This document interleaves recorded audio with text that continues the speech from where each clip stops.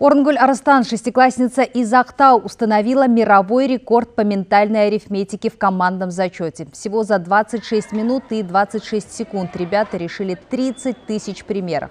Соревнования проходили в России. За звание лучшего боролись 150 участников. За молниеносное выполнение сложнейших арифметических действий Орнгуль называют «девочка-калькулятор».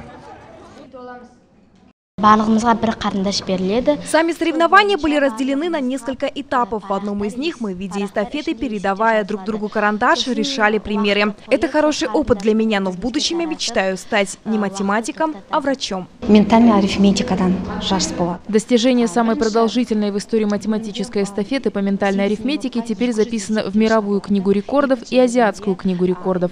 Конечно, мы очень гордимся нашей звездочкой.